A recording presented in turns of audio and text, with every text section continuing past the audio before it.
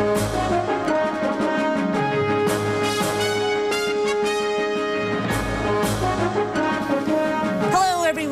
Walk MS 2009 starting off there. They're getting their foots. Yes, everybody's waving to our cameras. That's because ABC7 is a proud sponsor of this event. And our very own Jerry Taft is out there somewhere in the crowd. About 14,000 people walking to raise money for MS in hopes of finding a cure. So There's what a Jerry. one, there he is There right he is, there. Okay. We were with him yesterday for the Polish Constitution Day parade. He was telling us he Uh-huh. was going to be cutting the ribbon and Yep, and doing part of the walk. Part of doing the this for seven years now. So our hats off to Jerry because it's such a great event and uh, obviously a beautiful day for this too. Yeah, beautiful. You know, last week, was it last week?